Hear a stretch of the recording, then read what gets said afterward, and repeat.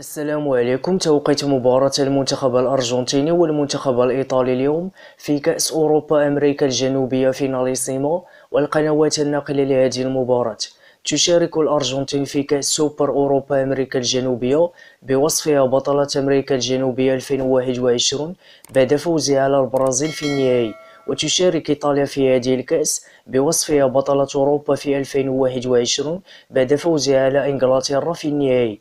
ويحتضن ملعب ويمبلي بلندن لقاء إيطاليا والأرجنتين في كأس سوبر أوروبا أمريكا الجنوبية اليوم الأربعاء 1 يونيو 2022 في حدود الساعة السابعة وخمسة وأربعون دقيقة مساء بتوقيت المغرب وتونس والجزائر الثامنة وخمسة وأربعون دقيقة مساء بتوقيت مصر التاسعة وخمسة وأربعون دقيقة مساء بتوقيت السعودية إن شاء الله.